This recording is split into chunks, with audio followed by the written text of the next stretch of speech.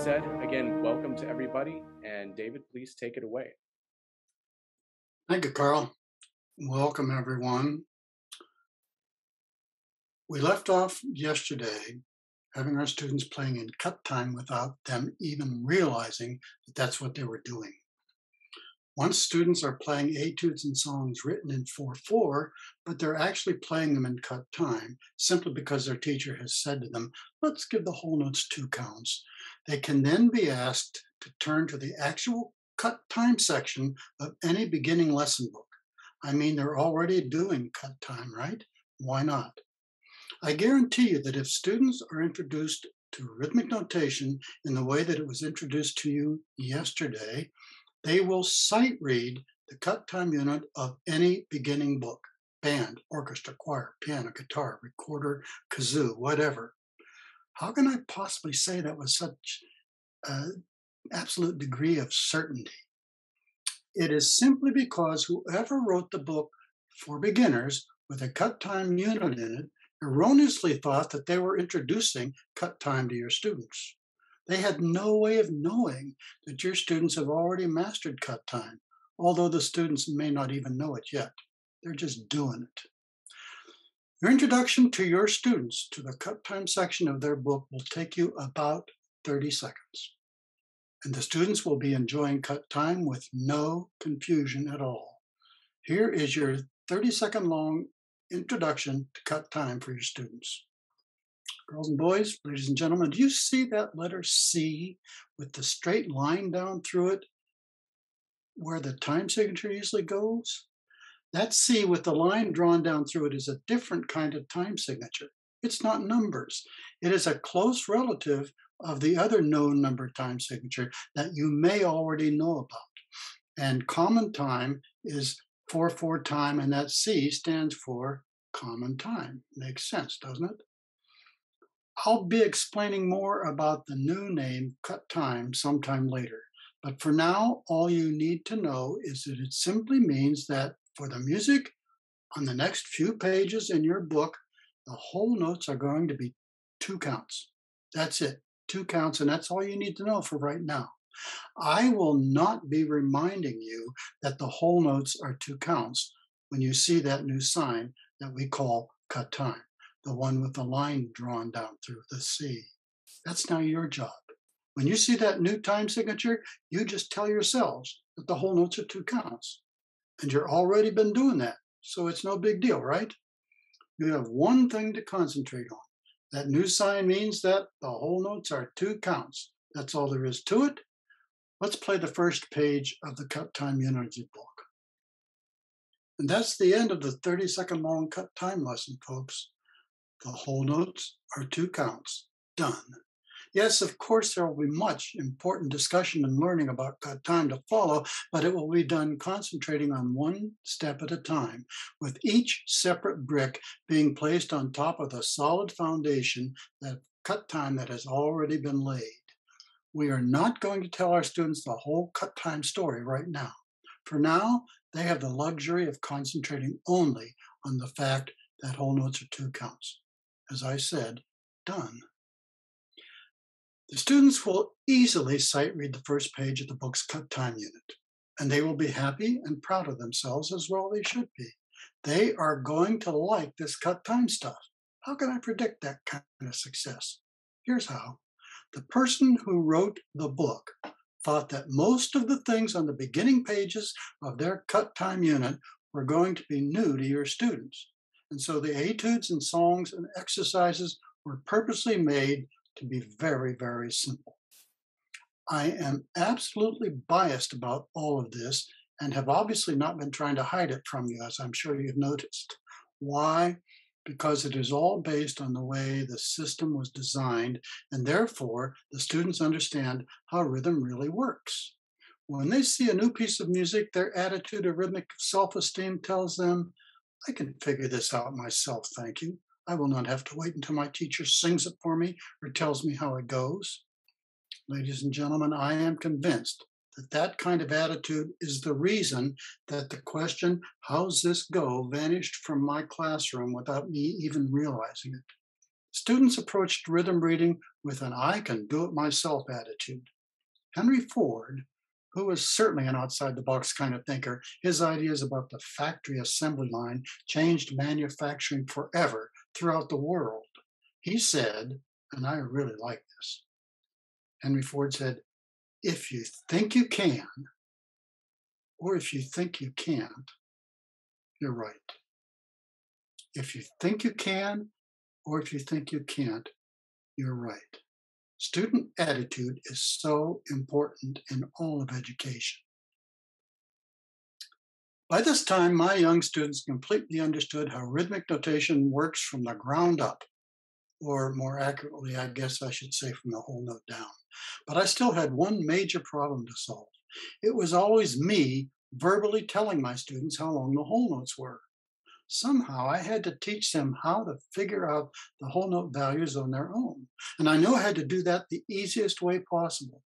In other words, I had to teach them how to solve for X, which is music's whole note value. And knowing the value of the whole note is imperative. If there is no whole note value, then there are no note values for any notes. Our system of rhythmic notation is not a system of set numbers attached to note symbols. It is a system of proportions. It was never intended that half notes are two counts. The only thing that we can say about a half note that will always be true is that it is half the value of the whole note. And that is why it is imperative that students can easily figure out the value of the whole note. Figuring out which kind of note gets one count is confusing and almost a waste of time. As you will see, finding the value of x, the whole note, can also be confusing, or it can be super easy. And please remember, I did not use the term algebra with these young students. I did use it with my seventh and eighth graders after they started their introduction to basic algebra class, and I had fun with it. I told them, when you go to your algebra class today, you tell Mr. Howell that you get the day off. You've already done algebra today. No more algebra today, Mr. Howell. And when he asks you where you did algebra already today, you just tell him in band. Ladies and gentlemen, I see no harm at all in us letting our compatriots on the academic side of the education coin know that we are not the entertainment wing of the building. We also teach the academics the academics of music. Rhythm is mathematics, principally algebra and the division of fractions. Intonation is the science of acoustics. Musical terms are musical terms are languages, often foreign languages. Accelerando, andante, pianissimo, fine, and so on. And I had my students say those words with the accent. I, I told them, you know, that word you see at the end of the song, fine. The composer didn't put that there because he knows you did a fine job on the concert. He wasn't there. It's not fine, it's fine, it's Italian, means the finish. Musical sounds are science. The longer the instrument, the lower the pitch, and the pitches themselves, being sine waves, are science. And we'll discuss later today there is anecdotal evidence that music students seriously enjoy learning music's academics, music science. I repeat, music is both an art and a science. And as I said yesterday, we would all do well to give more thought and time to the academic part of music than we do in order to give our students a full, rich education in music. There is much that we need to do with our students in addition to singing and playing. I personally discovered that the more our students know about the science of our art form, the better they will sing and play, the more creative their concerts will be. It does wonders. What they know about the science of music is terribly important, and I think it's too ignored. So back to the students figuring out the whole note values by themselves. By the way, before I forget it, there is a terrific relatively new group on Facebook named the Middle School Band Directors Group. It is really active. A week or so ago, there was an interesting thread about how various members of the group teach time signatures. And that's what we're going to talk about right now. I highly recommend this very active group. It's a Facebook group. school, the middle school band directors group. After I figured out the easiest way possible to help students discover the whole note values on their own in a piece of music, I simply asked them one day, would your kids like to know how composers tell you how long the whole notes are? They said, yeah. Okay, listen carefully because I am going to stop telling you the value of the whole note. It's always been me telling you the value of the whole notes, right? Well, starting today, it's your job, not mine. The value of the whole note is simply the bottom number of the time signature. Let me repeat that. The value of the whole note is simply the bottom number of the time signature. All you have to do is look at the bottom number of the time signature, and that will be the way the composer is telling you how long the whole note is in that piece of music. It's like a secret code being sent directly to you from the composer. 4-4 means that there are four counts in a measure. That's the top number. That's what the top number has always told you, right? But the bottom number tells you something different. The bottom number says in 4-4 that the whole note is four counts. Yes, I know. You most likely learned that the bottom number stands for the kind of note that gets one count, and that is still true. It's just that this new way that I'm going to tell you about is so much easier to understand. Once again, the bottom number tells you how long the whole note is. Therefore, the bottom number in the time signature of 4-4 is telling you that the whole note is four counts. So it's whole, half, quarter, four, two, one. Notice their beloved quarter notes are still one count in 4-4 time, people. But now they know exactly why they're one count. And it is so easy to understand. It's not something they need to memorize. It's something they can easily analyze. Whole, half, quarter, four, two, one. And that is the key to understanding. And understanding is the key to student competence. In simple 8-8, it's whole, half, quarter, eighth, 8, 4, 2, 1. The one count notes are still the same as in the centuries old definition of the bottom number of a time signature like 8-8. But now they understand why eighth notes are one count in simple slow 6-8, for example. It's all because of that variable count whole note and the simple fraction of one half. So, so easy. I'm going to push pause on your thinking for a moment here to confirm what many of you are already thinking. This different way of teaching students the meaning of the bottom numbers of time signatures does not work at all for compound meter. You are absolutely right. Don't even try to figure it out. You'll turn your brain inside out, and that's not good. I'll be doing a webinar sometime in the future titled Teaching Compound Meter is a Piece of Cake. That's an easy title to remember. Be on the lookout for it. So why is this different, simple, outside-the-box definition of the meaning of the bottom numbers of simple time signatures so important? Good question. I hope I have a good answer for you. Number one, both numbers represent what they have always been in students' minds. They are numbers. The number of counts in a measure and the number of counts in the whole note. The bottom number is not a kind of note, something that is very confusing for young minds to comprehend. It requires them to look at a number and think of it as a special note symbol. That's called abstract thinking, looking at one thing and having to think of it as something else. Generally speaking, young people can't do that.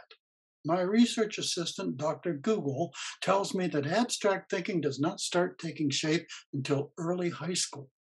Younger students are mainly concrete thinkers. To them, it is what it is. It's not a kind of a note, it's a number. This explains completely, to me at least, why students seem to have no trouble at all learning what the top numbers and time signatures tell them, but many of them have a great deal of difficulty with the bottom number. That's because we are expecting them to be able to do something that many of them are developmentally incapable of doing at their age. Instead of learning the value of just one note in a piece of music, the all-important one count note, the students tell themselves the values of all the notes in a piece once the bottom number tells them how much the whole note is worth. If the whole note is eight counts, it's whole, half, quarter, eighth, sixteenth, eight, four, two, one, a half. The sixteenth notes in this piece will be counted as one and two and, and so forth.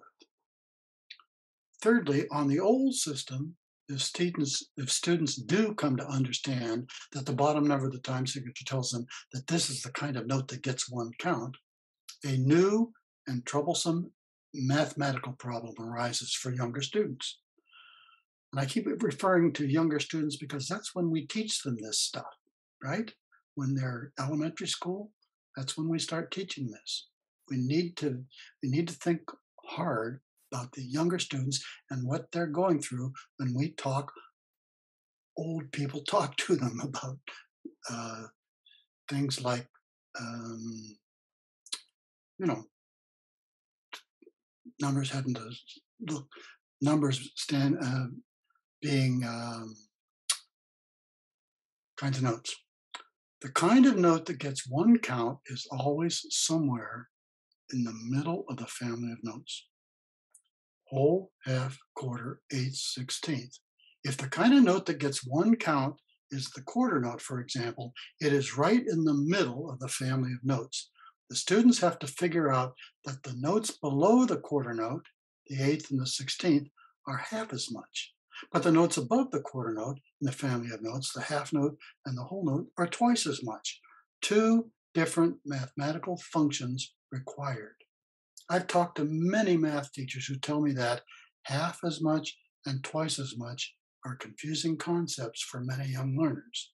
With the bottom number simply being the value of the whole note, the problem of half as much and twice as much is eliminated. Whole, half, quarter, eighth, sixteenth, number, half, half, half, half. My textbook, Teaching Rhythm, New Strategies and Techniques for Success, talks about a study I conducted. Basically, four highly experienced music teachers and 172 students in grades four through seven from four different school buildings were split into an even number of classes, selected at random out of a box during an organizational meeting of the four teachers. Half of the classes would be taught the centuries old meaning of the bottom numbers of the time signatures, identifying the kind of note that gets one count they would be the control group. The other half, the experimental group, would be taught that the bottom number is simply the value of the whole. Even though the classes were chosen at random, the number of students in the two groups was fairly even.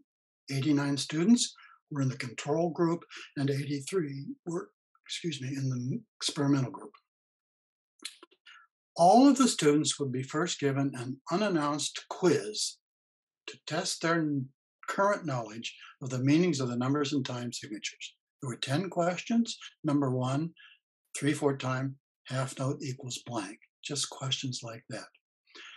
No answers required fraction, fractions because of the two classrooms of fourth graders. Not surprisingly, there were no perfect 10 out of 10 papers on the unannounced quiz. All four teachers were told at the organizational meeting that they were to teach three 10 minute lessons during one week devoted to the understanding of the numbers and time signatures to their classes that were to receive the traditional centuries old meaning of the top and bottom numbers of time signatures. Each of the teachers had an equal number of both control groups and experimental groups to teach. They would first teach the traditional way that time signatures had been taught. The bottom number identifies the kind of note that gets one count. Once that was accomplished, the students in those control groups were to then take a post test so that the tests could be corrected and we could measure the degree of improvement between the surprise quiz and the post test after three 10 minute lessons. Once all the control group classes had taken their post tests, a second meeting was scheduled with just two items on the agenda. Number one, the teachers would bring their control group post tests to be scored. And secondly, the teachers for the first time would hear the things I have shared with you, But the bottom number of the time signature is just a number, the number of counts in a whole note. That concept, by the way, was completely new to all four of the teachers. I had ascertained before the study even started. I purposely did not tell them anything at all about this alternate way of teaching time signatures until they had finished teaching their control classes. I did not want to take a chance on any of the new way being accidentally shared with the students. The experimental groups then had their three 10 minute lessons the following week and then took the post test to end the study. Final results the control groups, bottom number identifies the kind of note that gets one count, 7%, 10 out of 10 papers. Those students raised their grade from the unannounced quiz to the post test by almost one point out of 10, plus 0.94. So learning did occur, but I personally didn't think it was very much, considering that they had had three lessons on materials that they had very likely heard previously many times in their years in school. Remember, the students were from grades four through seven. Experimental group results, bottom number gives you the value of the whole note, an amazing 52% perfect papers. From the surprise quiz to the post test, they raised their score plus 4.55 points out of 10, almost 5 out of 10. And remember, almost one third of the students in this study were fourth graders. To me, 7% perfect papers and 52% perfect papers are statistically significant numbers. And when I shared the results with the teachers at a final, final thank you get together, the fourth grade teacher said to everyone, You all should know that I didn't need 10 minutes on the third lesson with the new system. They were answering every question I asked them, so we just went on to something else after a couple of minutes. At that, one of the elementary instrumental teachers said, Same here. Why 52% perfect papers in less class time? In my view, there's a simple answer to that question. It is so much easier and so much more logical. It's easier to teach and it's easier to learn. I had a paper that I had written on this different way of teaching rhythm and time signatures long before I included it in any book. And I sent the paper to a good friend of mine who had left our school district and moved to Long Island, where he had a long and successful number of years as a high school band director. I asked him to share my paper with a band director from there, whom he really respected. My friend came back to Ohio to visit one day, I asked him what the band director with whom he shared the paper thought about it.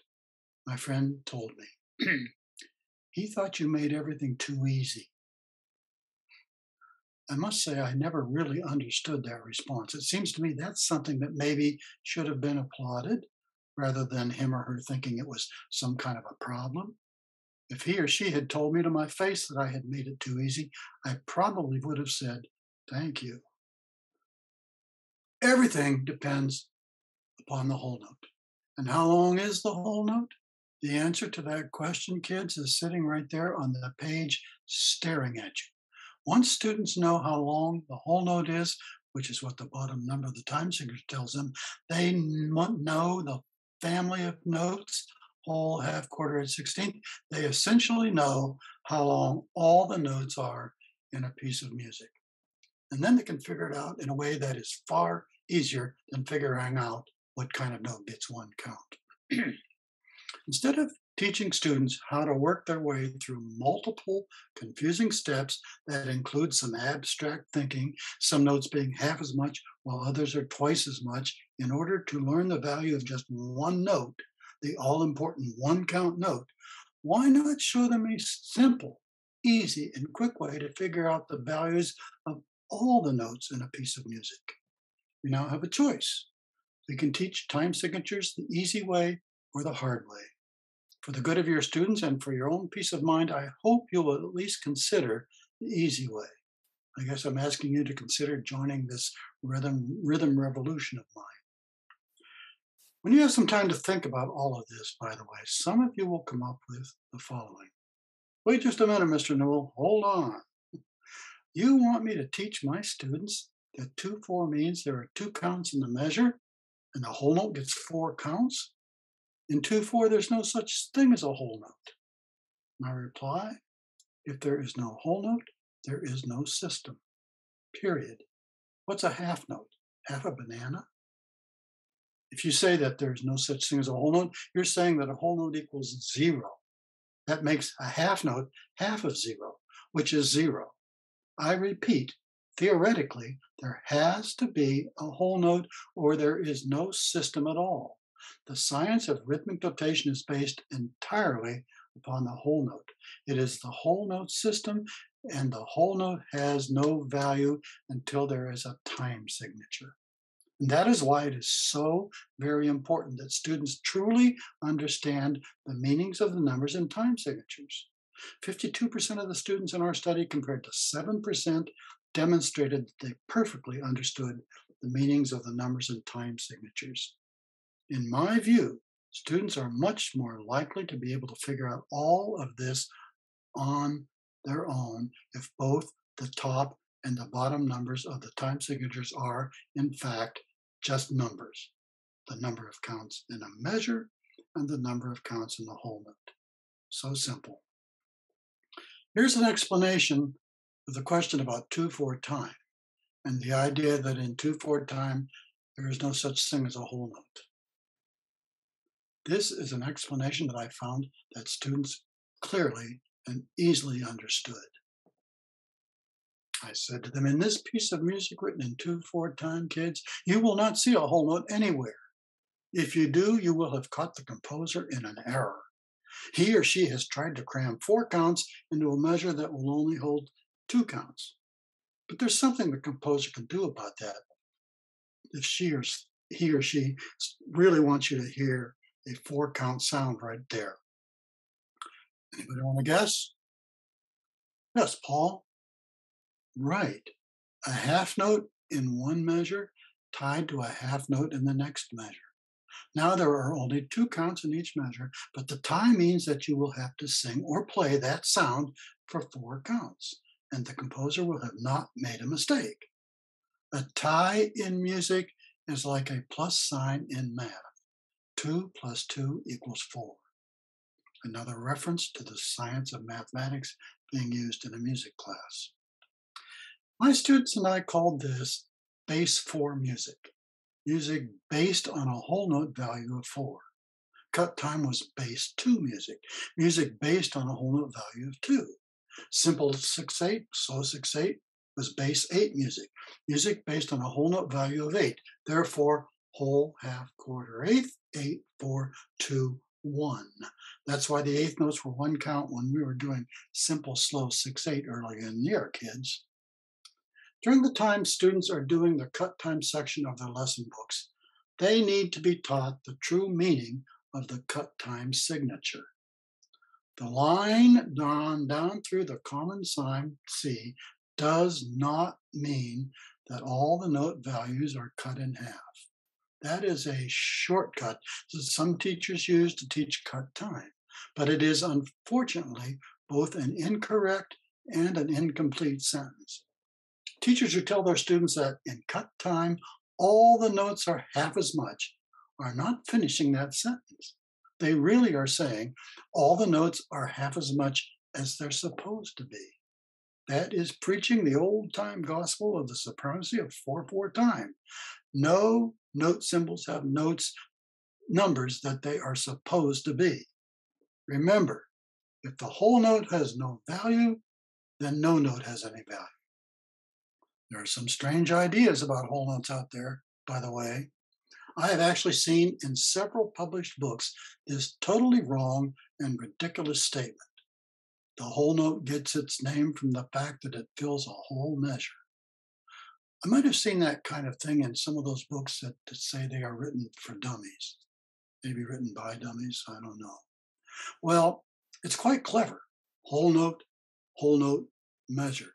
They go together and it's easy to memorize. But with rhythm, we are not promoting memorizing, we are promoting analyzing. In 2-4 time, the note that fills a whole measure is a half note. So should students start calling a half note a whole note when they get a piece of two, music in 2-4 time? I mean, it fills a whole measure, right? Talk about confusion. Talk about something that makes no sense. I once heard a very fine teacher, whom I know personally, remind his middle school students who were about to start rehearsing their piece written in cut time. He said, Now remember, kids, this piece is in cut time, so the quarter notes are eighth notes. Huh? Quarter notes can never be eighth notes. Quarter notes can be half a count, yes, but they can never become eighth notes. We can't change the names of note symbols just because we changed time signatures. I might have said this before. It is statements like these that make something so simple become so confusing for students.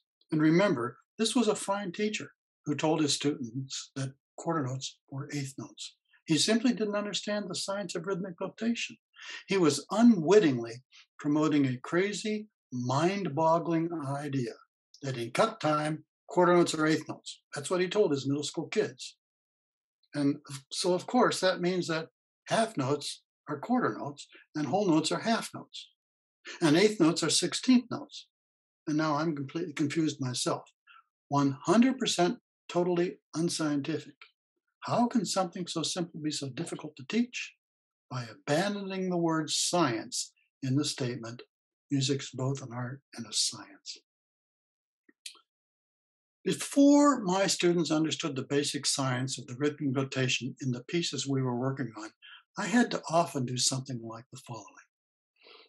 The third clarinets were not getting their rhythm in measure 27.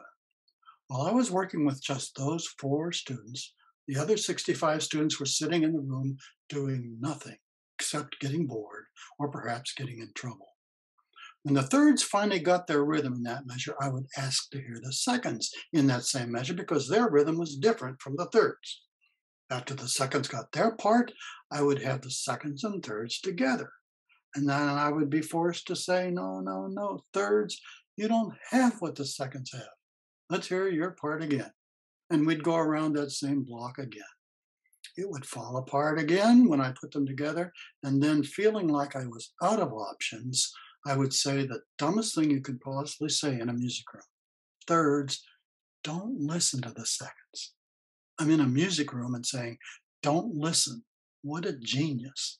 And what a waste of time, especially for the students not participating. If that kind of thing happens on a regular basis, and it does because other sections also need help, that's when students start thinking about dropping the class. Plus, that is often when classroom management problems start. Student boredom can be a significant reason for dropouts in any program, and we must retain our students. Math teachers get an automatic bunch of students every year. We have to keep ours to build a program. And I must say this we are in charge of the boredom factor in our classrooms. Once my students fully understood how rhythmic notation works, instead of the scenario of hearing first the thirds and then the seconds a couple of times, and then, of course, having to include the first, and finally hearing all of the clarinets together, that kind of rehearsing was over. Now I could simply say four words. Clarinets measure 27. Look at the rhythm. Four words. They would look at the rhythm and fix it themselves. They would give me this knowing nod. Oh, sorry. Four words worked just like magic, it seemed. That was a five second stop in the rehearsal instead of a five minute one. That's when I started thinking of those four word statements as my four magic words. More about the four magic words coming up very shortly. They took on enormous power, and I expanded their use greatly. Solving the rhythm problem changed everything about my job. If I had not solved my rhythm problem, I would not have written a single book because I wouldn't have had much to say. Once I solved my rhythm problem, everything changed for me, absolutely everything. And that's why I am so committed to sharing this with anyone who will listen to what I have to say. It was a beautiful sunny morning early in September, the first year I retired from my 30 years of public school teaching. I was sitting on the deck and thinking, you know, this retirement thing is really nice. Since I retired, I've been getting up every morning at the crack of 10, thinking about what I want, might want to do that day, and oftentimes coming to a conclusion something like this Nah, it'll still need to be painted next month. Then, as a newly retired gentleman, though, I got serious and I started reminiscing about my 30 year career in the public schools and actually missing not being there. The first thing I thought about was how fortunate it was that I had somehow figured out the classroom management part of the job. It was the thing that concerned me the most as a first year teacher. I didn't hurt myself talking to myself. Well, of course you had good classroom management, you, you moron. That's how I talk to myself. It gets my attention. Excuse me. Your students had no reason, no time, and no desire to do anything except to learn and to do music. Then I started reviewing in my mind what a rehearsal looked like on a typical day. Let me, as briefly as I can, describe a typical rehearsal for you once I had solved my rhythm teaching problem. Once again, I remind you that this example will be from my band experience, but it works for all of us. Every day, the students would talk, would walk into the room, get their folders, find their seats, and put their music in rehearsal order by looking at the rehearsal agenda as written on the chalkboard. Then they would individually start to warm up. They warmed up in a very mature and serious fashion because they had been taught a unit of study on warming up. The students knew how important it was for everyone to warm up. A band can't tune if half the wind instruments are warm and the others are cold. Everyone knew what a good warm up consisted of, and they knew to keep one eye on the clock because the teacher would step onto the podium at 9:06 a.m. every morning, and when he did, all playing and talking would stop immediately. There would be instant silence in the room.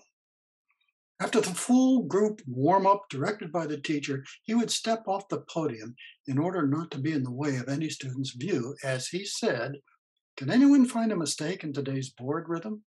There would already have been written on the board a rhythm of anywhere from one to several measures in length.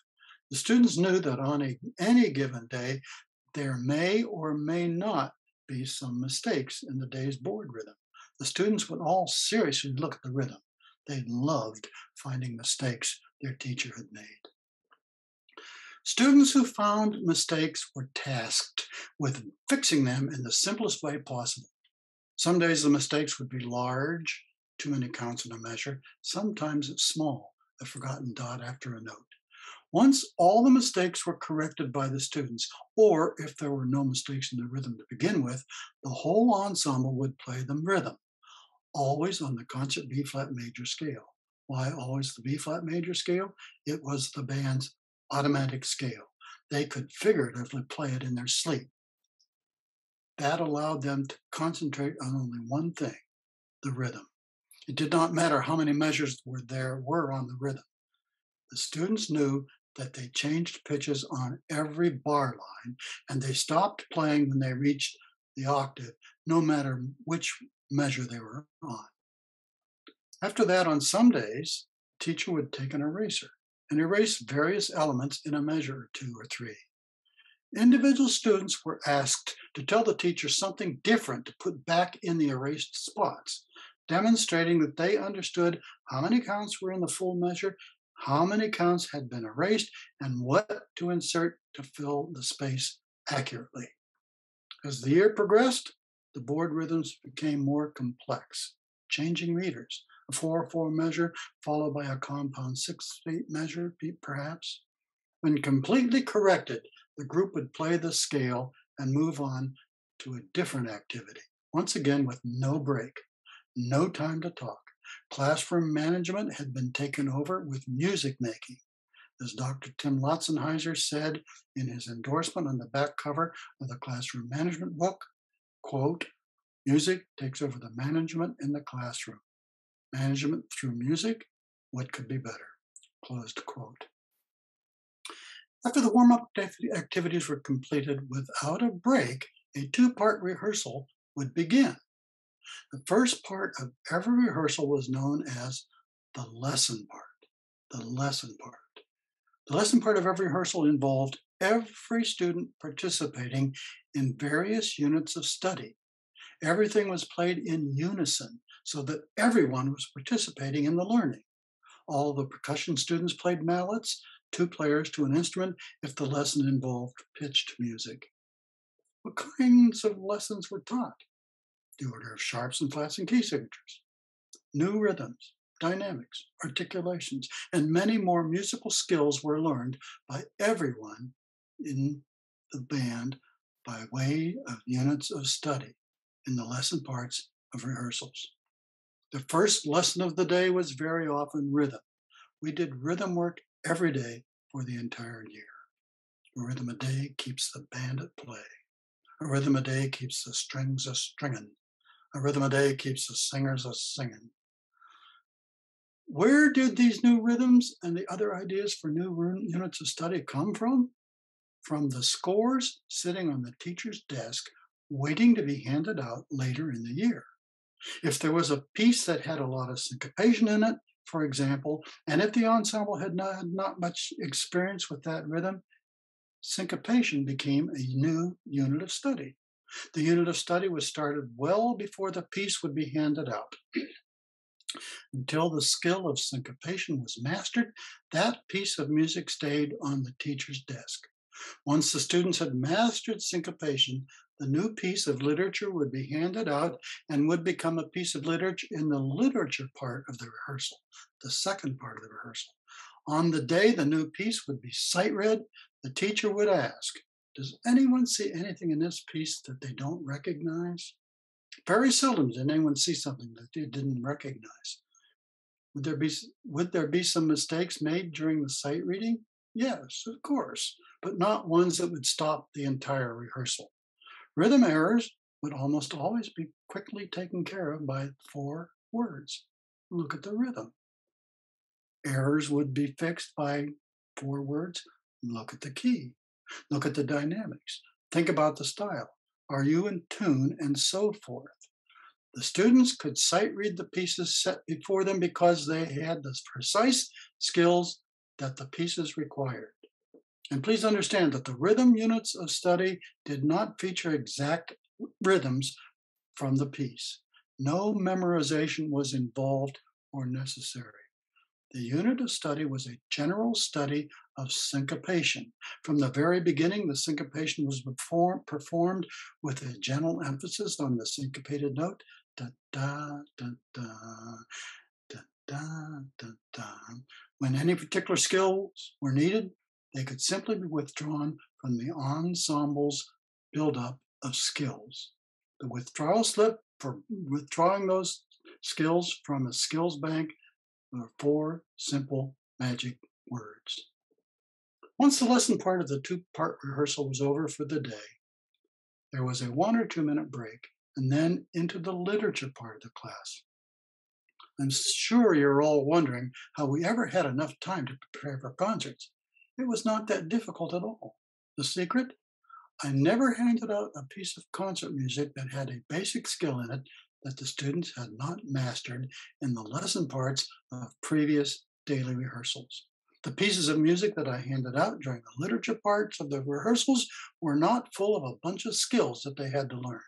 The literature part of every rehearsal was 100% for making music, not for learning skills. Every piece as a piece of musical literature from day one. Every piece was a piece of musical literature from day one. They had already mastered the skills needed in the piece of literature they were rehearsing. A skill that perhaps needed to be reviewed became a part of the next rehearsal's lesson part of that rehearsal.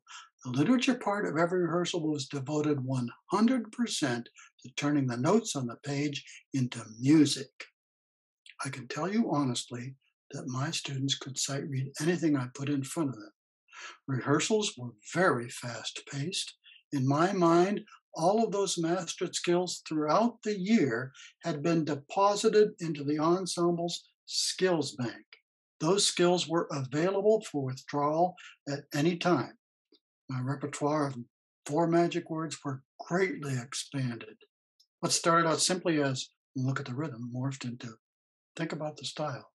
Look at the key. Who has the melody? Look at the dynamics, and many more. I no longer said things like, measured 49, you're too loud. When we say things like that, who's doing the thinking? The director. The only thing the students have to do is react, and oftentimes to forget it the next time. But when we say, look at the dynamics, and the students look at them and they say to themselves, ooh, we're too loud, they are far more likely to remember that. I am personally convinced that students enjoy classes in which they are challenged to do more thinking than listening.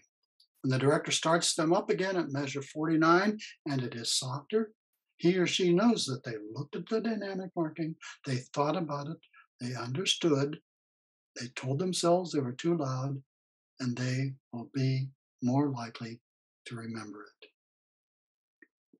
You may very well be thinking, my students would hate all those lessons during the first part of every rehearsal. Many of them just wanted to play their instruments and sing. They signed up for band and orchestra and choir to get away from all that regular school kind of book learning. To my delight and surprise, I found out otherwise. My wife and I were sitting in the hot tub one evening, probably in about the middle of my 30 years in the public schools. We were having a casual conversation. She asked me, How are things going in school? I said, Fine. I'm going to be observed by my supervisor on Friday. She asked me how I thought that would go. I said, No problem. I've known about it for a week, so I'll plan a very safe rehearsal, one that I know that will go very, very well. About the middle of the following week, she applies, apologized for having forgotten to ask me how my observation went last Friday. I told her it went fine, just like it was planned. As a matter of fact, I had just that day gotten a very nice write up on it that would be put into my permanent file. She said, Well, you don't seem very excited about that. I told her there was nothing to be excited about. To me, it was just teacher show and tell day. She asked me, Well, what would make you excited? Professionally, she was a mental health therapist and was really good at digging into things. I answered immediately I would give anything to know what my students thought of my class.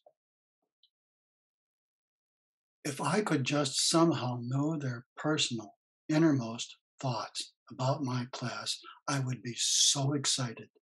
She nonchalantly replied, Well, I can help you with that. I said, You can? She told me about a psychologist who developed a questionnaire that was a list of sentence stems, sentences that were just started. And this, the uh, new patients would have to fill those out before they saw the psychologist for the first time. Perhaps sentence stems like I feel happiest when, I feel saddest when, if I could change one thing about myself, and so forth. I don't think those were the actual ones on his questionnaire, but you get the idea.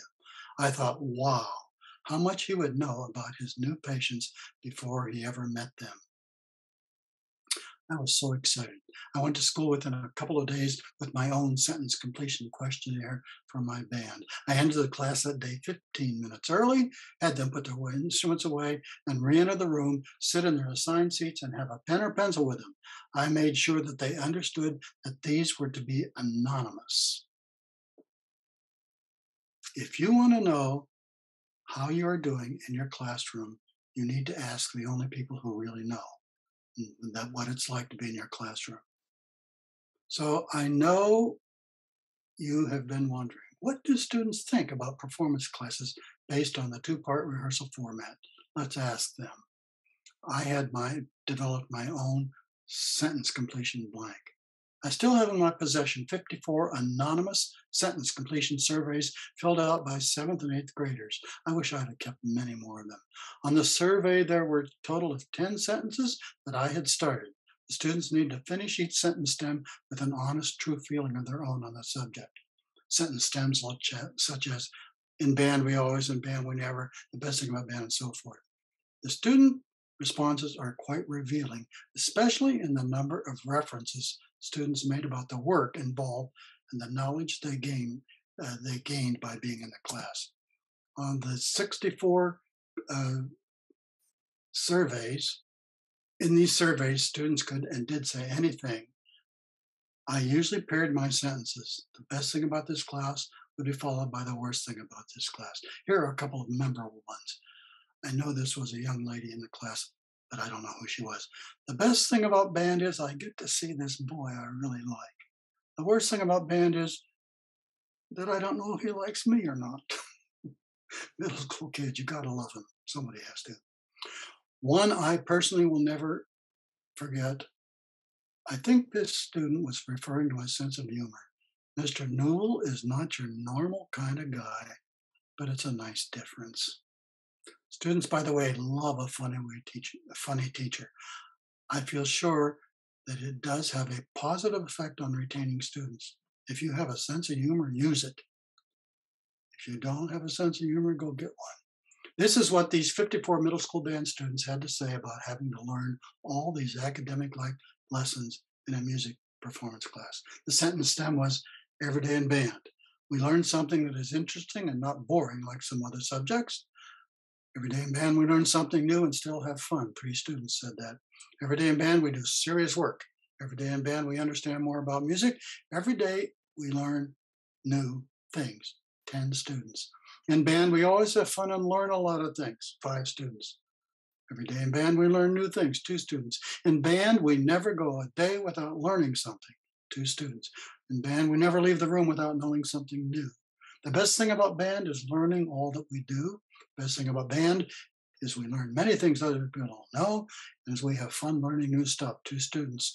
Being in this class is a lot of fun, but takes a lot of hard work. I like that one. Being in this class makes me want to learn. Being in this help in this class helps me to learn more about music. Being in this class is never boring. Great with four exclamation points. Being in this class class helps me a lot with a lot of things. I learn a lot of, too. Our music teacher almost never gives us something easy to learn. I like that. Our teacher almost always has a good time helping us learn. Music the final one was just one word. Music is a hard subject, but you learn what it's about and what different things mean. Finally, a few of the major benefits of this two part rehearsal format. Literally, students can learn twice as much music in half the time using the two-part rehearsal format, and the eventual performance of the piece will be more musical because that's what the piece has always been to the students, a piece of music. It's never been a bunch of problems to solve. Essentially, the problems were solved before the music was seen. Secondly, there is no doubt that getting students to practice outside of the rehearsal is more difficult than it has ever been. Many students are legitimately too busy to put in the kind of individual practice time their teachers would like to require of them. More students than ever are involved in sports, have after school and evening jobs, so many little screens to watch, and so forth. The lessons part, the lesson parts of rehearsals can help to solve these and other related problems. From the first sounds of the class warm up through to the conclusion of the day's various units of study, 100% of the students are experiencing a model practice session designed to address the specific needs of that ensemble and led by an expert.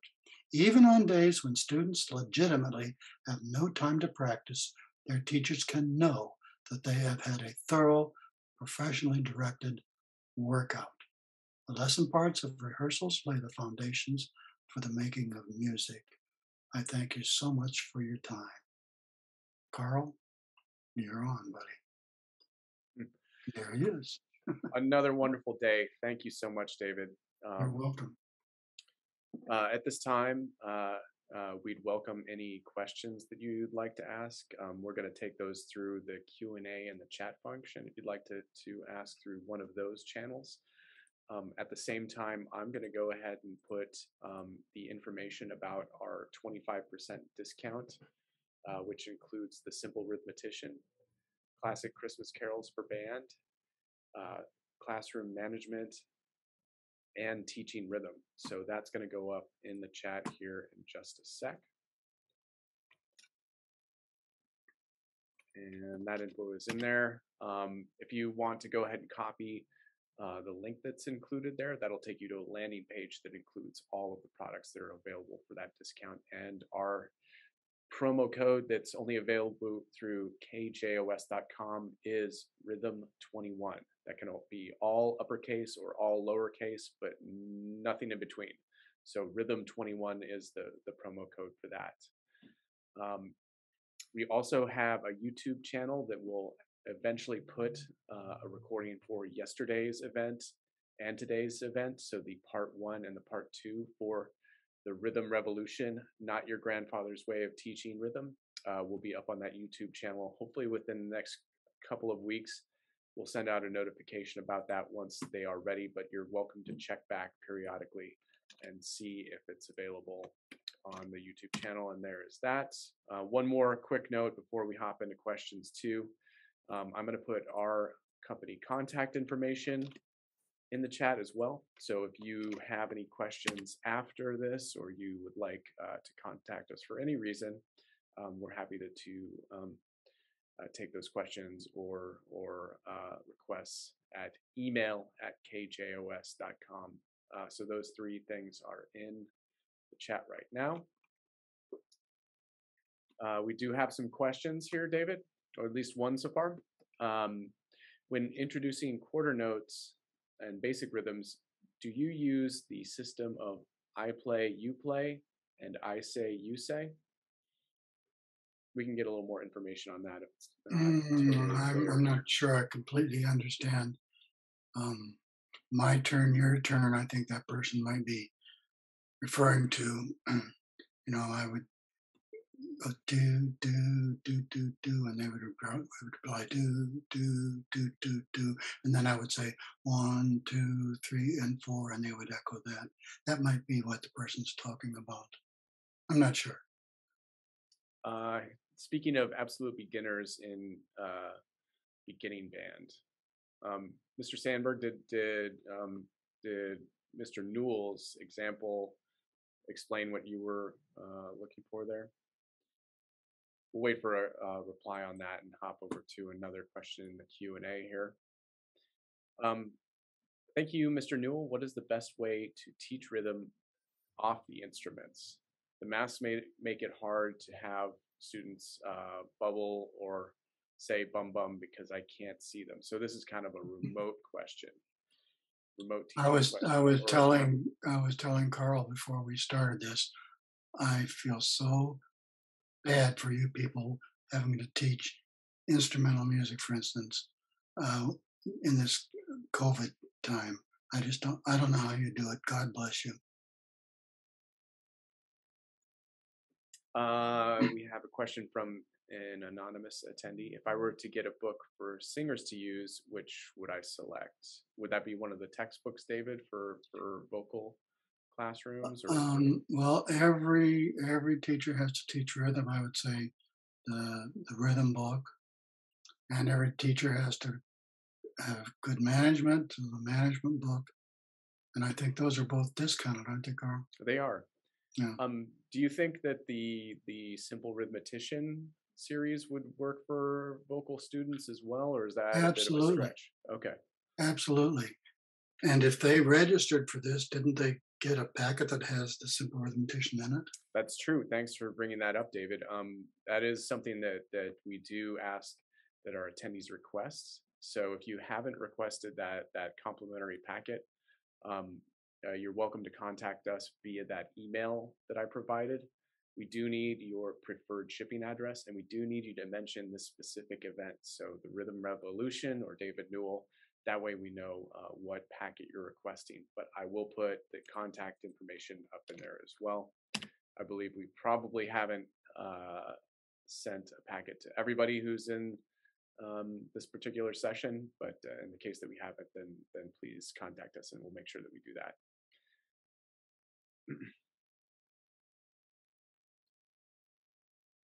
um, Bob Brainerd is asking, what's the name of the Facebook group again? The middle school directors. Uh, middle school band directors.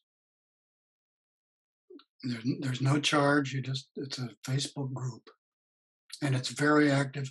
And from the reading I do, I'm sure there are orchestra teachers in there, choir teachers. You don't have to be a middle school band director. Um, Matthew V says, "Thank you, David. I was wondering how you approach compound six eight meter, and you mentioned too during our session that we'll do a follow up uh, webinar, which will probably happen at the beginning of the year on um, compound meter. But um, is there a quick quick version we could? Um, oh, an hour. All right. Well, stay tuned for that, co- Matthew. compound meter is essentially very confusing. You know, I mean, the sounds are divided into thirds and sixths. We don't have third notes. We don't have sixth notes. We have to somehow figure out how to use eighth notes for notes that are a third of a count. It's essentially confusing, but like I said, if you remember, the title of that session is going to be Teaching Compound Meter is a Piece of Cake. I'd rather teach compound meter to your students than 4-4 any day. It is such a piece of cake and kids love it. So Matthew, stay tuned for that notification. We're going to go really in depth um, uh, on compound meter probably at the beginning of 2022. So so that'll be coming up uh, pretty soon here.